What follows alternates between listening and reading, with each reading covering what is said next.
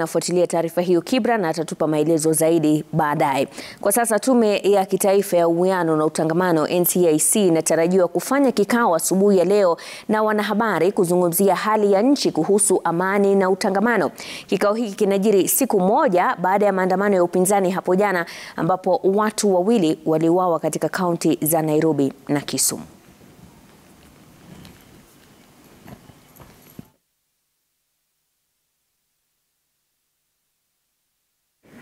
Kwingineko ni afueni kwa mamia waathiriwa